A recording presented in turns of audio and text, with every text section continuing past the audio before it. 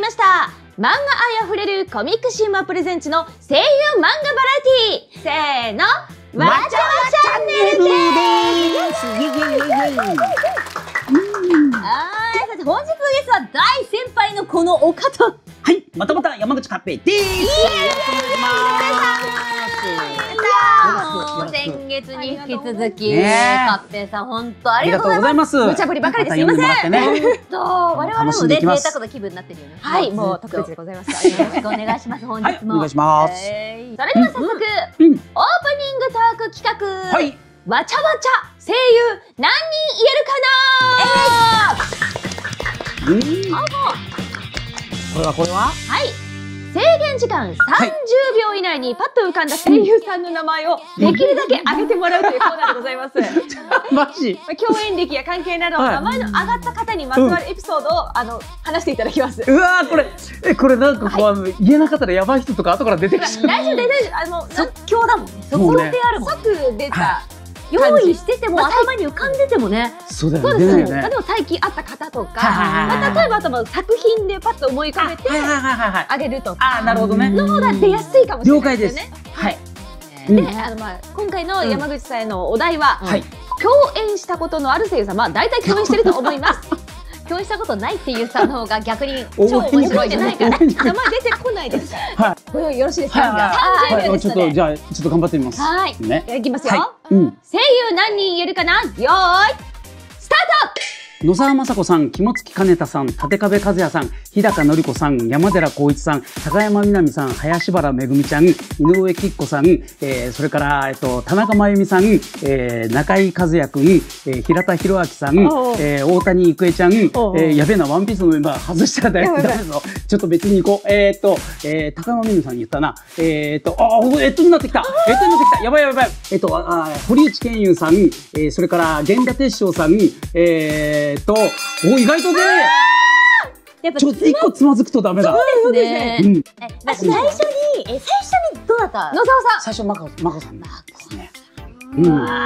もう、うん憧れなので。ん。え初めてカッペイさんと雅子さんご一緒したの何ですか？まこさんと最初にご一緒っていうかしたのはあのもともと僕東京に出てきたのええキモさんの劇団入ってたんであのうんまこさんが見に来てくれててでそういうのもあれさあのと最初東京に来てはい。あの養成所に通った時にちょっとミーハーな気持ちでまこさんが教えてる養成所行ったんですよ。だからなんかその頃からのもうお付き合いっていうかがあったんで。もうあのキモさんの劇団に入った時にはもうあのすごく親しく、あーうんうん。うん。でその子供の頃からずっと憧れで、でも作品でなんかご一緒して、まこさんもすごいうん。嬉しかったっていそうですよね。エピソードあるんですか。いやでもやっぱり、ええなんだろうスリーナインでこあう龍馬子さん？はい。はい、池田雅子さんと野沢雅子さんの間でやってる時に俺俺何してんだろうって。えそれすごいな。今思うと。もうすごいよね。なんかもう私が小さな頃だもんだって。ええ小学校私だってあったんだよ小学校の頃。うん。ずっとババアじゃないわけよ。ババアじゃないです。ずっと若いうことで、そのもう私のスリーナインとか見なかったら声優にならなかったかもしれないから。うんねえ影響受けるよねそうなんですよ。そうそうそう眞子さんキモさん立壁さんがいなかったら多分僕はここにいないだろうっていうくらいお世話になったのでキーのね、うんあのカッペイさんにとってはキーになったお三方とそういうことですよですね。ね。もうそこの世代にね育てられてるから、ですよね。なんかこうすぐご飯行こうっていうね。うでも我々にとってはカッペイさんでもレジェンドなのに、そうです。もうレジェンドからしのレジェンドなんですよっていうのもね。あしまった。尾形健一さん言うの忘れちゃった。親父親父そうだ、小口さんはとにかくヨーダエリアっていうかこう、確かにそうですよなんね。かもしかしたら目指すそうなの。その。ね。エリア的本当にいろいろいるそのさっき挙げられなかったけど、達田直樹さんとかね、もうすごいし、なんかおじいちゃんのね見習いたい見習いたいおじいちゃんって言い方悪いけど、愛らしさのあうんるうんおじいちゃん。替えの多いよね。ね。なんか可愛いおじいちゃんこの業界。はい。そうですよ。かななんであんな可愛いんでしょうね。ね。あんな素敵な方々なの。にただお一人一人皆さん濃い、あのじご自身のバイブスを出されていて、そこが替えの利かないところになっている。だそこの次の替えの利かない世代をね、うん。そうカッペさんが担われるとなると、うん。もうわた我々楽しみですよねなんか。ワクワクしてきた。他にあれですか？ねもう少しこう下の世代というか同世代ぐらいの方で今お名前上がった方で。同世代ぐらい？ああ渡る渡る出すのですよ一番大親友です。渡るちいち。あそうですね、お三方で舞台やられてただきました。三人の会とかもやらせてもらいましたね。意外と忘れちゃいけない人忘れちゃうね。ってなるとね。うんやっぱりお三方は声優あまああれ戦友ですよね。やっぱりあのそうですね。渡るさんなんていうのは、うん。多分。もう渡るはほぼ同期なんで。ですよね、私デビューが。も渡るさんから伺ったことあります、同期はどなたって言ったら合併かなっておっしゃってました、るほど。そうあそうそうそう。だから二人あの最初始まった頃に。はいあのなんとかこうなんだろうこうこう居場所作りたいっていうか、はい。あの先輩たちばっかしじゃん。であの同じぐらいが渡ると俺しかいなくて、で最初タバクだったんだけど、はい。最初山口さん高木さんって呼んでたんだけど、うなんかなんかさん付けやめようみたいな感じでじゃあ俺渡るって呼ぶよとかったら渡るがじゃあ俺年下だからじゃあカッペイ君って呼ぶねとかって。じゃあもし山口さん渡るさんとかって言ったらじゃああのジュースをおごることにしようねとかえ渡るさん下ですか？渡るがね2個下。あ二個下なんだ。でも私ね思いました。さっきまあ前回のエピソードで、ん。なんかまりなちゃんがこうねデビューの時にラジオやっててそこになんかこう落書きしたっておっしゃってたじゃないですか、あのー、渡るさん、私元同じ事務所なんですけど、ええあの、まあ、い一緒にね、こうユニットの作品でご一緒することもわ、あのー新人の頃にあって、うんうん本番中に膝かっくんしてました。だから、同じなんだなと思って。いや、違うんですよ。もう本当にテストで何にも言わないで真面目なんです。テストが一番真面目なんです、渡るさん。で、普通にあの考えて、そのみんな緊張してやるじゃないですか。うんうんそしたらマイク前で言ってるそばからシーザーカックンしていくんですよ。あでもカックンってなりながら、セリフをそっちでないから、何してんだろうこの人と思って。いらっしゃいますねそ確かにで確かに。もこの世代だから今、確かに。そう、いたずらっ子の世世代の。世代関さんもそうじゃない。ですか。カッペイさん先輩とかにもしますでしえ？ょしますよねカッペイさんもね。先輩にするんだから。するシーザーカックンとあの耳ふーとか突然やってくるとかので、あとねあのこう、足こうスリッパ履いてはいはい踏んでたりすると、あのペンって蹴って飛ばすそうです、そうすです。あれ何なんですか？本番中っていうのが何なんですか？あのあテストじゃダメなんですか？テストはつまんないんだって。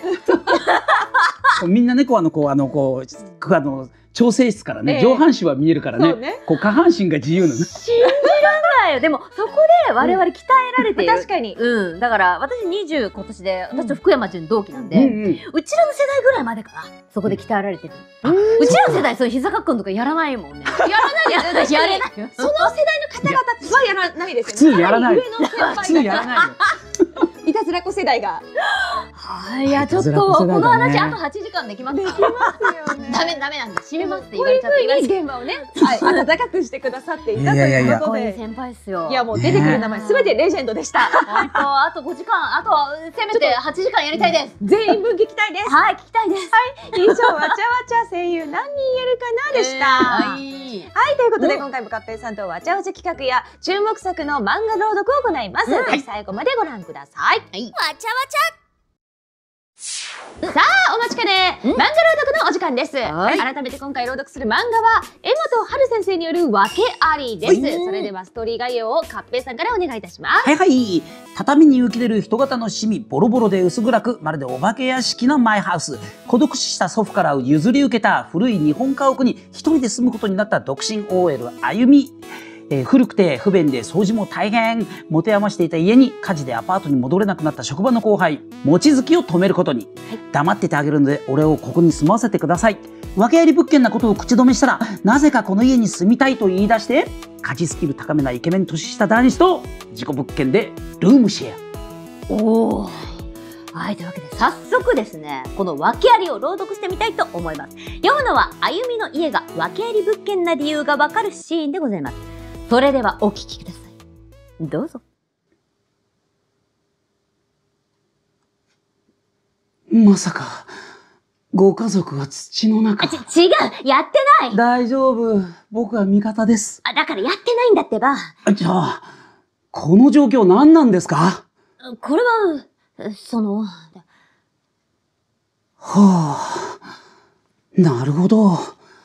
孤独死したおじい様のご遺体型に浮き出るシミを隠蔽しようとしてと。その言い方やだな特殊清掃を依頼してお葬式あげたらお金飛んでっちゃってさリフォームとかだとまとまったお金もいるみたいで正直この家に長く住むかもわかんないし住まないんですか？だって新居は二人で決めようっていう相手だったらね。え、誰ですか、そいつは。仮の話だけど。な、なんだ？仮の話を急にぶっ込んでこないでください。何？さっきから。昔よく遊んだ家だし、おじいちゃんのシミも別に怖くないんだけど、一般的にはこんな家住んでたらびっくりされるでしょ？だから、このことは社内の人に内緒にしてほしい。どう縁がつながって、社内婚あるかもしれないしね。わかりました。では、黙っててあげるので、俺をここに住まわせてください。え？ほら、俺今家ないですし、管理会社が用意する大体の家は会社から遠くなりそうだし、ここなら今までと生活圏も変わらないし、便利なんですよね。口止め料ってことで、ダメですか？それに、はかりさんにもメリットがあります。俺、リフォームできますよ。え？俺、一応建築士ですよ。そこまで工数のかからない作業なら問題ないです。空いた時間に少しずつ、イメージした部屋が出来上がっていくの。いいでしょ？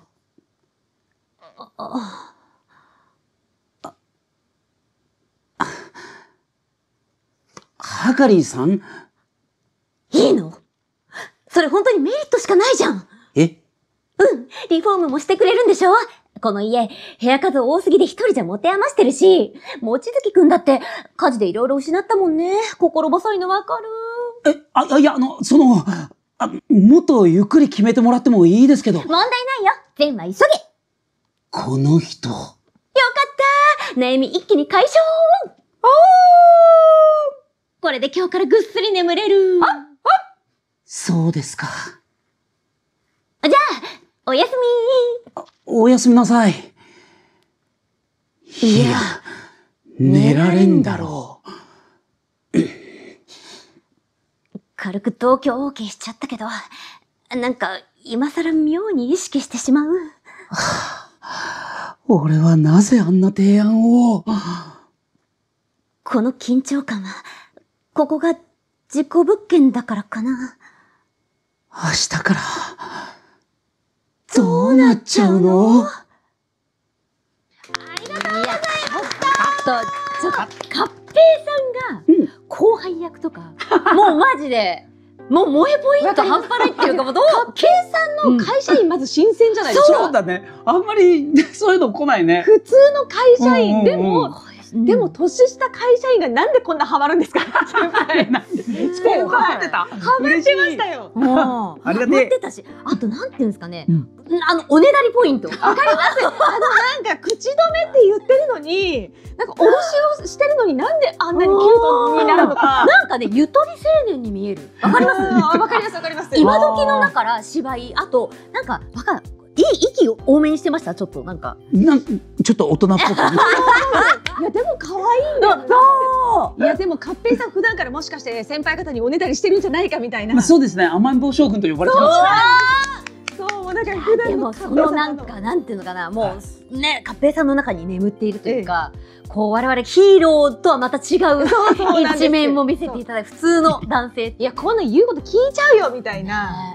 でもこれ事故物件のお話ですけども、うんうん。そうなんですよ。これもまたいろいろこうね。ねそうですなんだね。ええ。そう恋愛もありつつ、でもなんていうんですかね。あのまあ今回朗読でも出てるんですけど、うん。あの床の下を開うん。けるっていうのがまずよく素人がやったなというか、そうですね。あれどうなの？あんな開くもんなんですか？なかなか大変だと思うけどね。でもまあうん古いまあ家屋だからうんみたいなことですよね。おじいちゃんから受け継いだみたいなところで。この二人が割とねうんもどかしいんですよわかりわかります。で親戚のお姉さんが出てるんですよね。うんで、あのお姉さんがいいこと言うんですよあ。はいはいはい。いいよ。で、あの、アドバイスするんですよね。そうなんですよ。いいじゃうんん。いい男じゃんみたいなね。しかも、うんその子は、その、この、はかりちゃんっていうのはね、こう、恋愛に、まあ、ダメンズなのかわかんないけど、あまり疎いと。で、そばにいる、その彼のこと好きって思わないんですね。うんあの、もちそうなんですくんのことを気がつかないの。このだけど親戚のお姉さんが普通に好きなんですよ。そううんこのあゆみちゃんのこと。はい。そう。だから、もちずくんは最初からだから、住まわせてくださいって言ってる時からん、そんな感じだ好。きなんだけれども、ただここね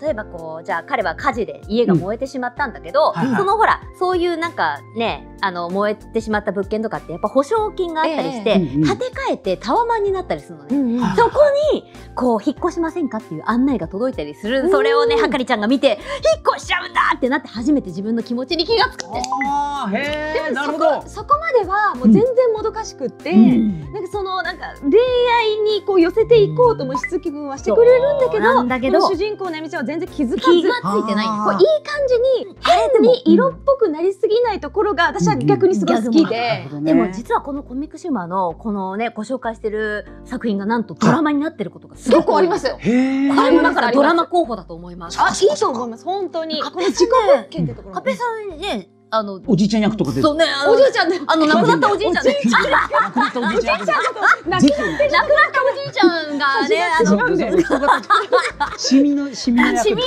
やだ。皆さんねぜひ注目していただきたいんですけどはい、もうぜひね、はい読んでいただきたいと思います。はい皆様は今読んだシーンについてどう思いましたか、ぜひ感想コメント欄に書いてください。うん以上、コミックシーマーおすすめ漫画朗読の時間でした。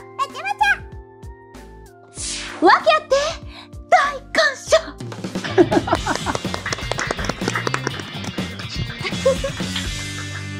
心からの感謝。うんはい、えー、出演出演声優陣と、えー、漫画に、うん、交えて楽しくわちゃわちゃしようという当番組恒例の企画コーナー「うん。訳あり」はい。は、えー自宅を失ってうん。大ピンチな後輩社員の望月くんを、うん。主人公のはかりあゆみちゃんが助けてうん。自宅に住まわせてあげるところから、えー物語が始まります。うん。はい、かっぺいさんの、えーうん。声優経歴の中で、はい。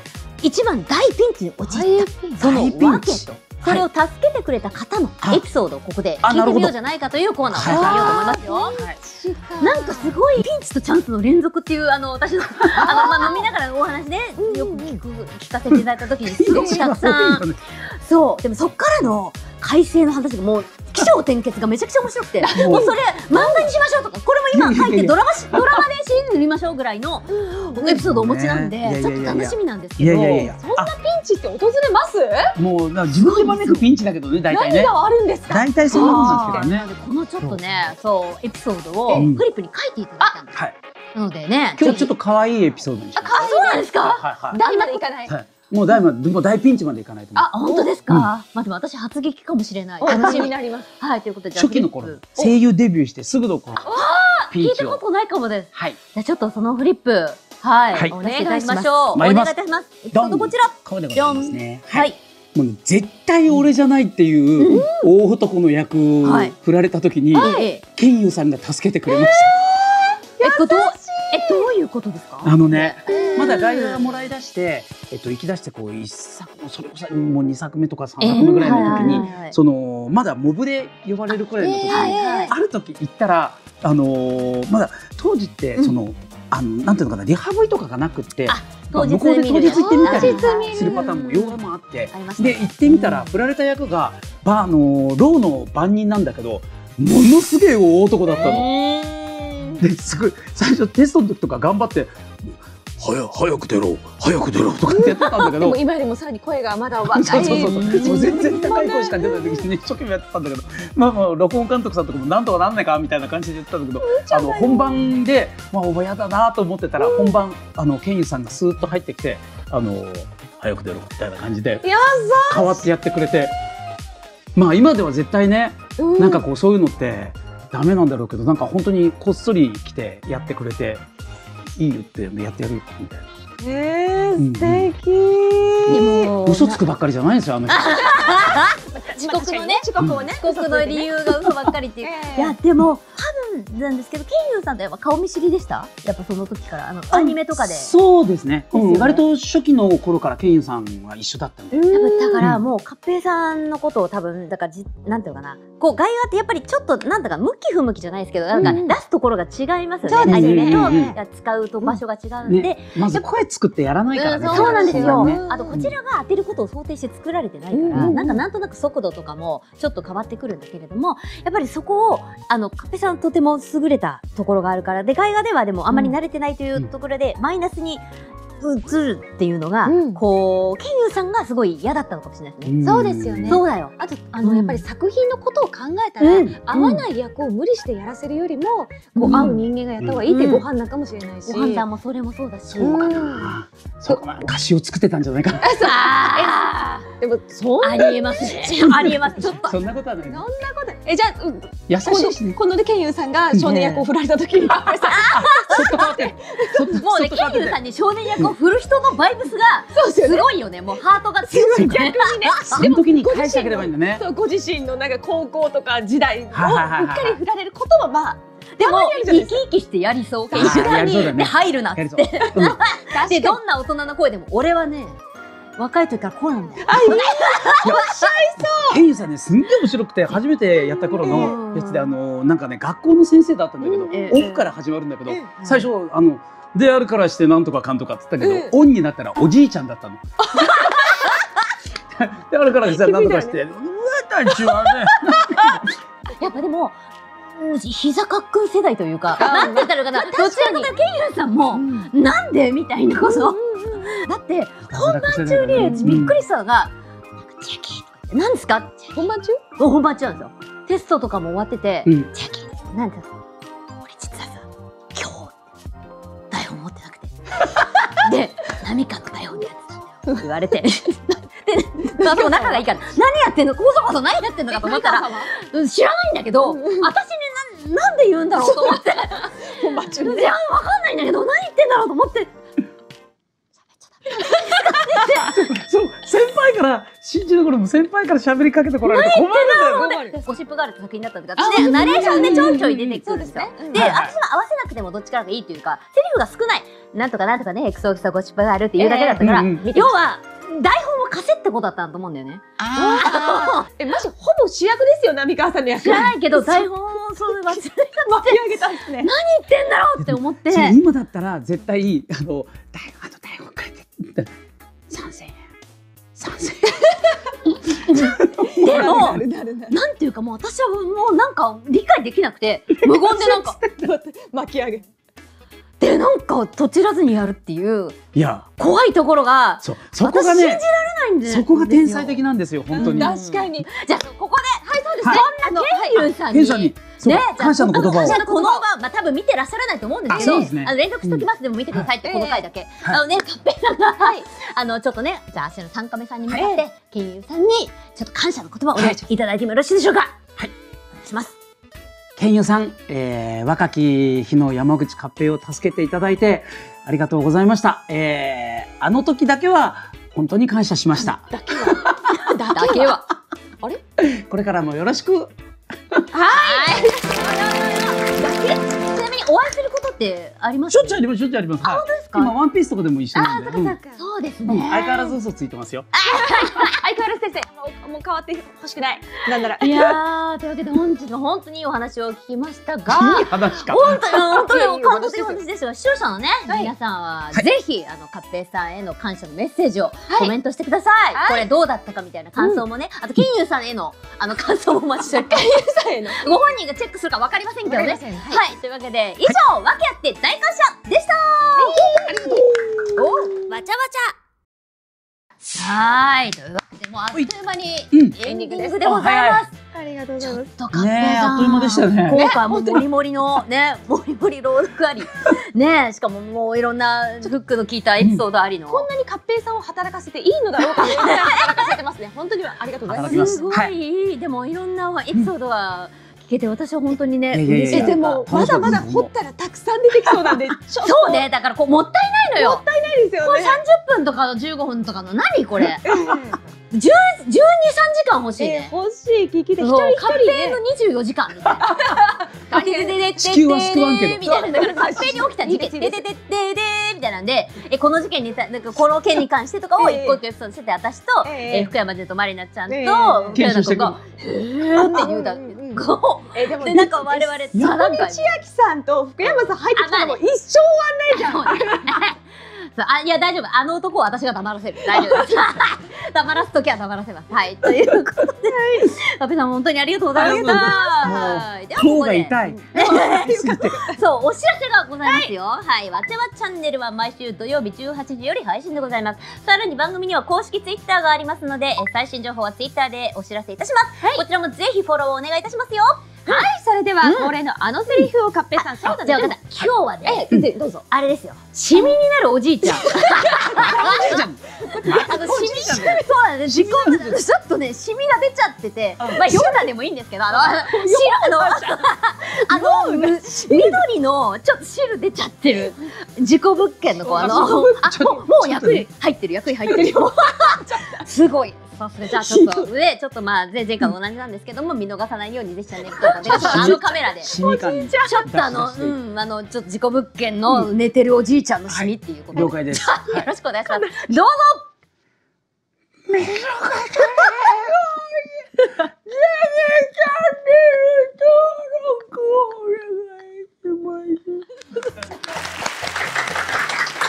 ねじわっと消えてっちゃいます最後溶けていきましたね。溶けていきました。ええ。っていうので、ええあれは本当にリフォーム必要ですね、ええ本気のお金かかりそうだ。成仏してください。お願いいたします。